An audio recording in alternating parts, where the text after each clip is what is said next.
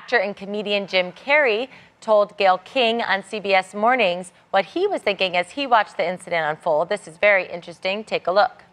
I was sickened. I was sickened by the standing ovation. I felt like Hollywood is just spineless, en masse.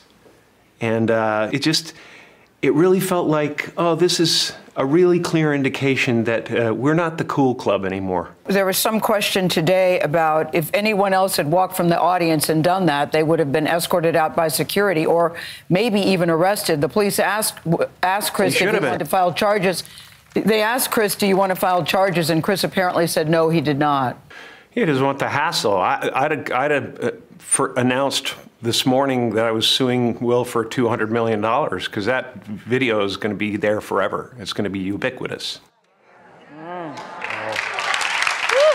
I kind of stand with what Jim Carrey is saying. I don't. I truly like.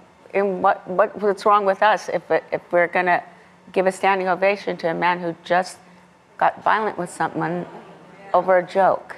So I, I, I, I stand with Jim Carrey on that. What's wrong with us? I, was going to say, I, I, agree with you in, in, that I stand with him, probably not with the suing part, but I, I do like as far as, you know, Hollywood being spineless, because you think about this and just food for thought. If Chris Rock was Regina, Wanda Sykes, a woman, and that had happened, Will Smith doesn't get honored on stage. No one's standing up. So it makes you think like, how do how does Hollywood feel about a man being assaulted? You know, um, in this situation. And like to me, it's just like that's when Hollywood, especially, you know, they'll use these platforms to be able to say, hey, you know, the world should be doing X, Y, and Z. But in that moment, everyone just says, we're gonna pretend like that didn't happen and just keep clapping. And that's wrong, because that's a disservice to Chris. Like they just told Chris Rock, how they felt about him as as a comedian and how they right. felt about him as a man. There you go. What you thinking, It's gonna be. It's just going to be. Uh, uh, first of all, this is totally off topic, but I have to say because we saw Mr. Williams in that clip, something we're really forgetting in all this. Because I saw this movie in the theaters. Yes. Will Smith was w- amazing in this movie. Yes, he deserved that Oscar. Yeah. Yes, he did. He deserved that Oscar that said, I, I am interested to see what the repercussions are now. You know, I, I it's because you know not to call anyone out, but everyone's going to be wanting to see if next year Chris Rock and Will Smith, if there's going to be them on stage together, and you know what would happen in the NFL if if someone uh, uh, uh, hit another, struck another man's yeah, face. you're, you're, you're going to get suspended and you're going to get fined. And I think that should be along the line.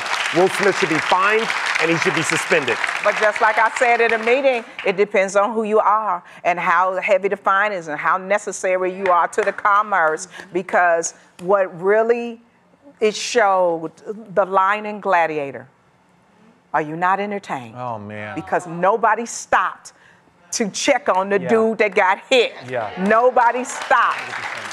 See, to me, as a society, nobody stopped. And because first we were all like, is this real? Yeah. Is this a bit? And then when you find out it's not a bit, this is real happening in front of people, no one still went up to Chris That's Rock true. and yeah. said, Are you okay? Well, Who did they console? Absolutely.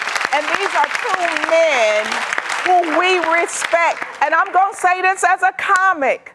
I am afraid now to get on a stage because on my third show where everybody been drinking, if you don't like my joke, do you now believe that you can get up and slap me? This ain't cool. There's got to be accountability quicker.